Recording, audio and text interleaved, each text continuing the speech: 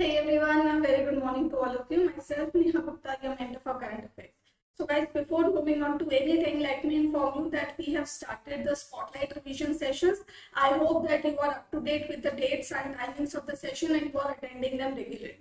Now let's move ahead in the video and let me inform you 7 Nabard's live courses are there. This is the timetable which you can see and crash course for Nabard is also there. If you want to know more about the course, you can do so on the app as well as on our website.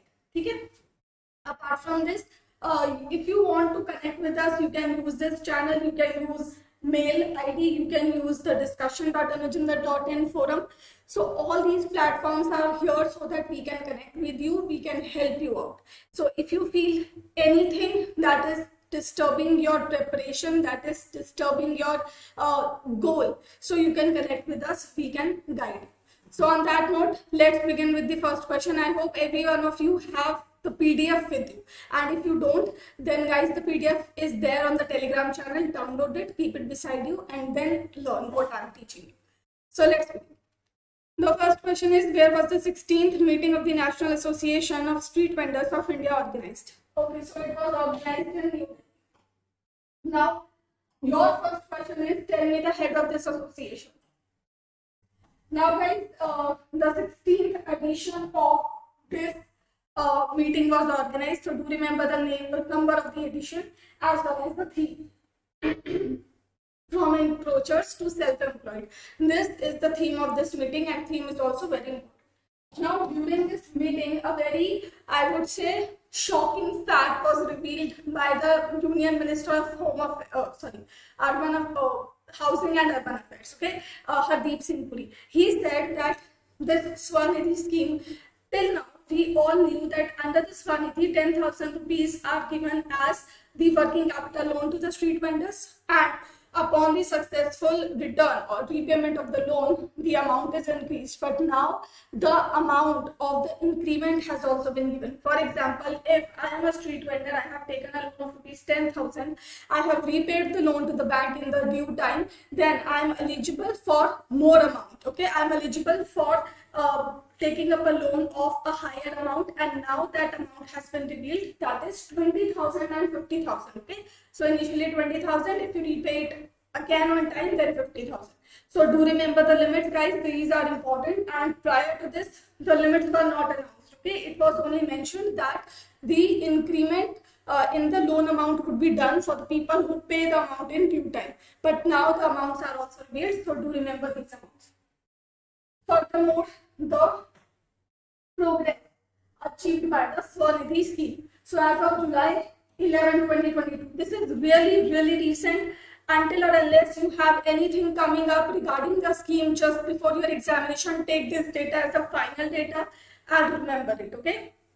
So uh, you can do one thing that you can create one uh, uh, one paper of on your notebook. Okay, there you can write such uh, facts which are very uh, you can say dynamic in nature. They are very volatile to change. Anytime this data can change anytime uh, whenever there is a new meeting the ministry can change this data obviously. So write down this data on a sheet of paper and then what you can do is just before one to two weeks of the examination see whether a new data is there or not uh, whenever a new data comes up, you are going to write it down on the same sheet of paper. And the latest data that is there with you, you can start remembering that data just before two weeks of your examination. In this manner, the overlapping of the data remembering would be reduced and at the same time you will feel less burdened okay? And again third benefit is that you have all such data at one place so it will be easier for you to remember them as well. So 11 July 2022, 3,661 crore rupees have been provided to 30 lakh street vendors. Under the phase 1 of Swanidhi Se which was launched in January 2021, 31 lakh street vendors have been enrolled and across the 125 cities. So all the facts that are underlined, they are important. Now what is this? Swanidhi Se Samriddhi. Swanidhi Se is basically the uh, campaign that was launched under the Swanidhi scheme to uh, include the street vendors as well as their families into the other central social welfare schemes. Okay, so that was the basic idea. A total of eight social welfare schemes were targeted and the data uh, uh, of the eligibility was taken from the street vendors and their family members. I hope that this is clear. Now I hope you remember the names of the schemes. These eight schemes are important. Now if you remember, mention them in the comment section below. This guys is a very important question. You can expect it in your paper. Okay. Where was the Human Space Flight Expo organized? So it is basically an exposition. It was organized at Jawaharlal Nehru Planetarium and it is in Bangalore. Apart from this, there is nothing much in where is India's first brain health clinic located? So it is located at Jayanagar General Hospital in Bangalore. Um, okay. And two more such centers are going to come up at the same city. Okay, Kolar district uh, and Chikkabalapura district in uh, Bangalore okay, in partnership with National Institute of Mental Health and Neurosciences, which is NIMHANS. Again, it is also headquartered in Bangalore. So these are the important information. And Brain Day, World Brain Day was celebrated on July 2022, on the occasion of which this center was uh, established. Tell me the theme of this day.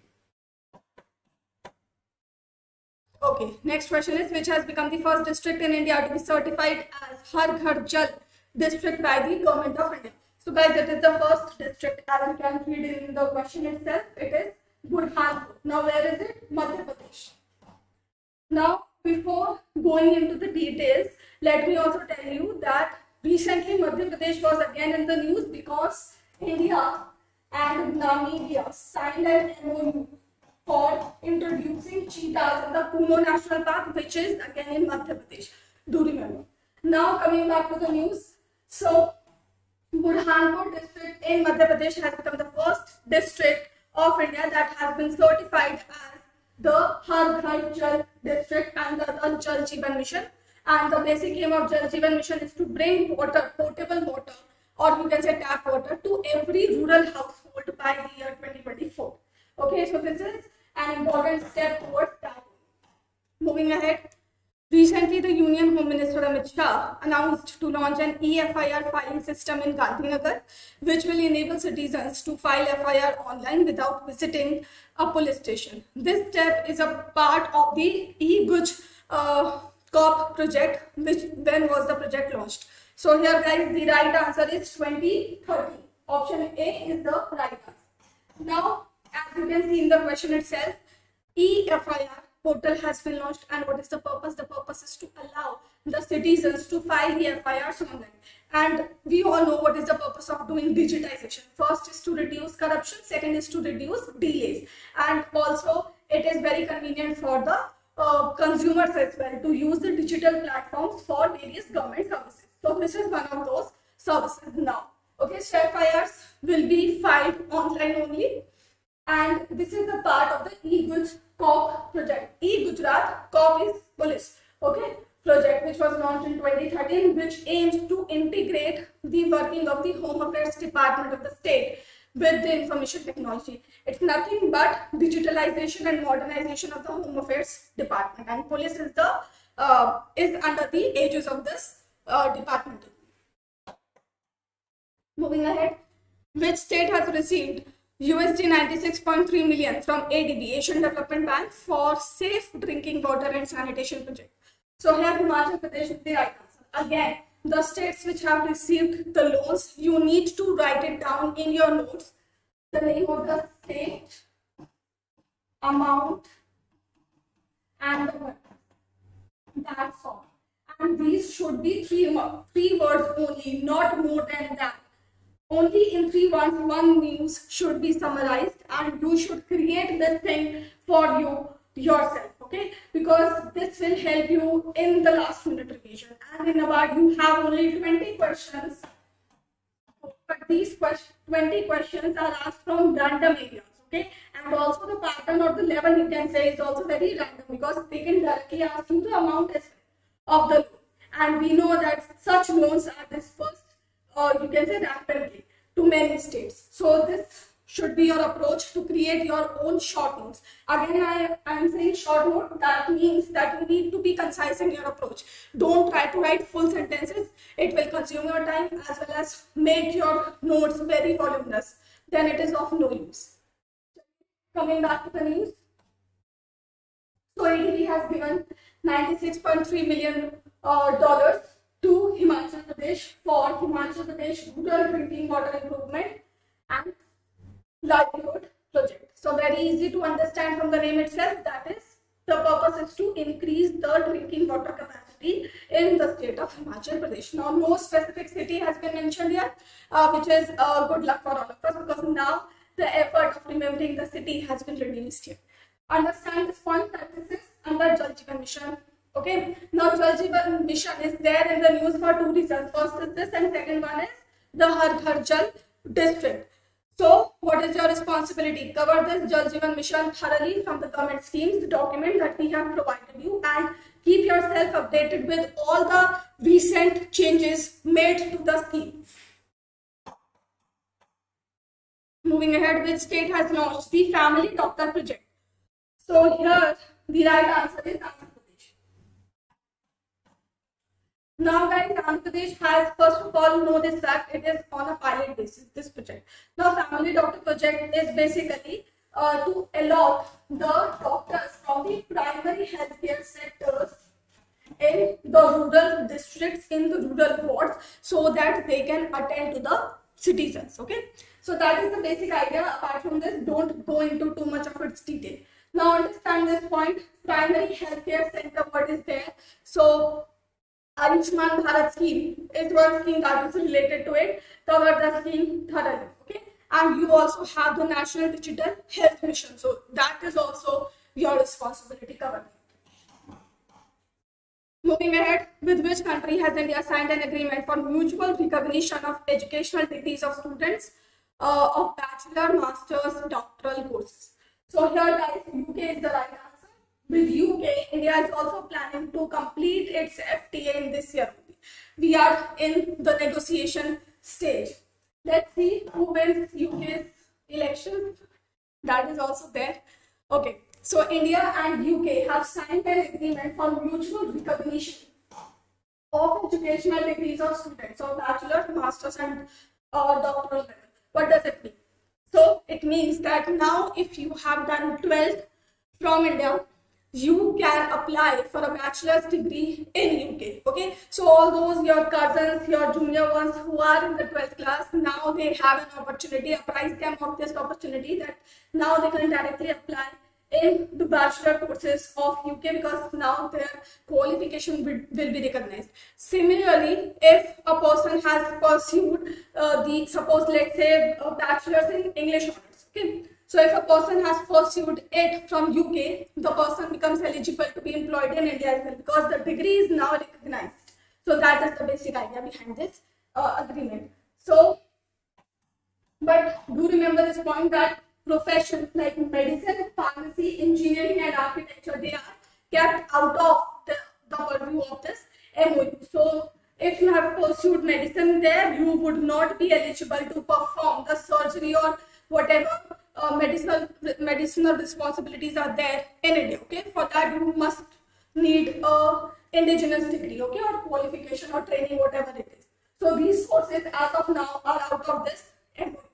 Another MOU was also signed to recognize the maritime education qualification. Okay, for the maritime people, for the seafarers, the training, education, all of them are done differently. So now UK and India are going to mutually recognize the training given to the people by each side okay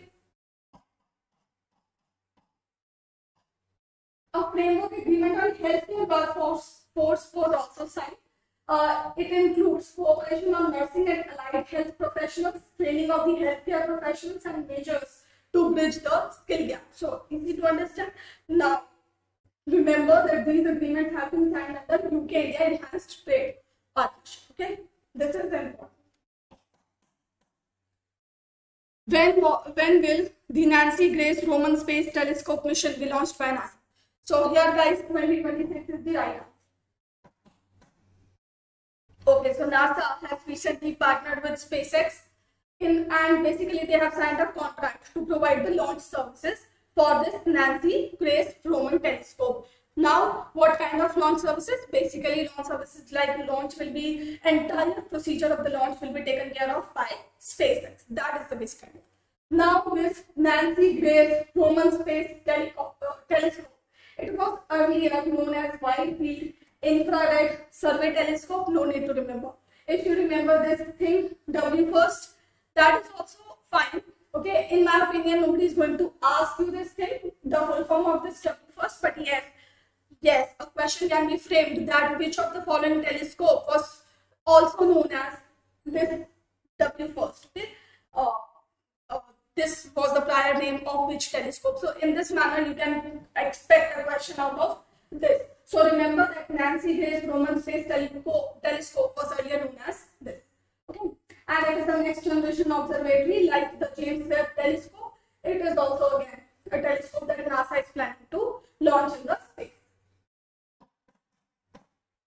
Now it will be launched from the Launch Complex 39A of NASA's Kennedy Space Center Sometimes space centers are also asked. However, this is a very famous space center. It remains in the news on and off. Therefore, uh, many of the people know about it. But since it is in the news, you need to know Kennedy Space Center is in use in Florida. Okay, Florida we are. Now, this Roman Space Telescope project is managed by NASA's Goddard Space Flight Center in Greenbelt, Greenbelt, Maryland. This is important. Okay, now we are at a very important question. Do listen to me carefully. What is the population of elderly people as per census 2011? So guys, here 104 million is the right Now, why are we discussing about the uh, population of elderly uh, suddenly? The reason is that Ministry of Statistics and Program Implementation has released Youth in India 2022 report. Now, a very crucial point of this report is that the population of youth in India is going to decrease as the year, years come ahead in the future. And the population of the elderly people is going to increase. So, if the population of youth goes down, the and the population of elderly increases, then what would be the possible impact uh, which you can think of now? Firstly, the overall productivity, the contribution to GDP would go down. Secondly, the social security burden would increase in India. And at the same time, you also need to know that India is not a rich country. India is a poor country. And at the same time, uh, the social security burden on a poor country will lead to a fiasco.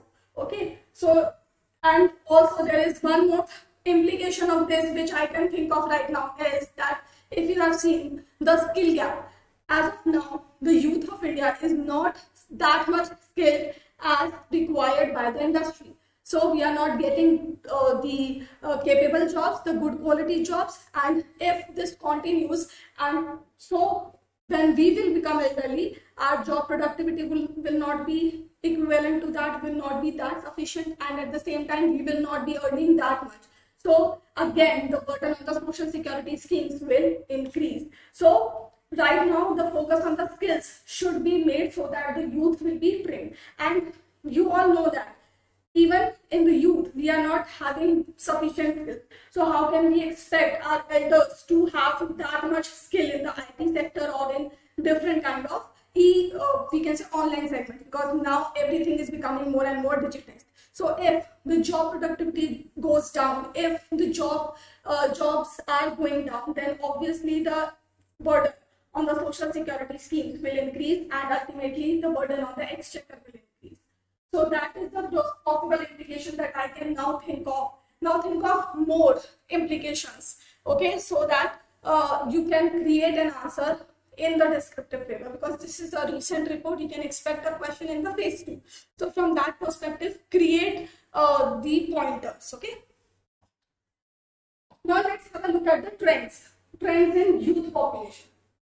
So as you see in 1991 the population was this and it increased to uh, this 333.4 million in 2011, then 371.4 million in 2021, then increases, uh, sorry, decreases to 345.5 million by 2036. So it is. Now, the proportion of youth, the percentage of youth in comparison to the total population. 26.6% in 1991. Then 27.9% in 2016. Now it is going to decrease to 22.7% in 2036. Guys, these numbers are important. You can directly cite them in any of your descriptive answers if you uh, encounter any answer on your silver economy. I hope you are acquainted with the concept of silver economy. It is basically the economy driven by and also for the elderly people. So uh, remember these numbers. Now we have in elderly population, the old people. As for the 2011 census, 104 million old people were there. By 2036, we can have 225 million old people. 2061, 425 million old people. Then proportion of elderly to the total population, 6.8% in 1991, then 9.2% in 2016, 14.9% in 2036. A huge uh, increment in their percentage. However, the overall, uh, if you compare this percentage from the overall population, then it would uh, appear to be less. But if you see the number of people who are old, who are dependent on the state, then it is guys huge, especially from the state's perspective because it has to cater to their demands. It has to cater to their healthcare system. And in order to improve or make the system robust, right now what we need to do, we need to improve the skill gap so that the people like us when we will become old, we have sufficient jobs, we have adequate or productive jobs in our hand. Secondly, healthcare system needs to be improved. Education access needs to be in, uh, improved. So these are some of the ways which I can think of to robust, to make the system robust for the elderly people as well as for the future India. Now you need to think more of this. Now if we look at the state-wise data, so we have Kerala, Tamil Nadu and Himachal Pradesh which will see a rise in the elderly population. Whereas Bihar, Uttar Pradesh, Maharashtra and Madhya Pradesh these, and Rajasthan, these states will have 52% of the total country's youth by 2036. So these states uh, are important. Now do remember the states, okay? This is important fact. So here guys, this video ends. I hope that you have liked the video. If you have liked it, then share it among your friends. Thank you so much guys for watching the video.